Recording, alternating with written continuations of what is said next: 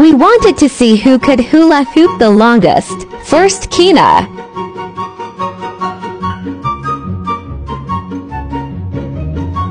She is doing good. Dang, she's still going. Finally. Second, Unai.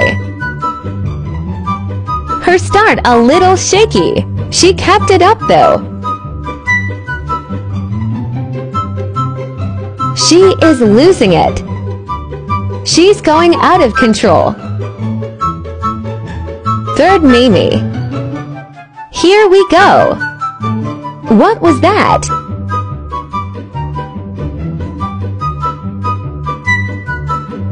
One more try.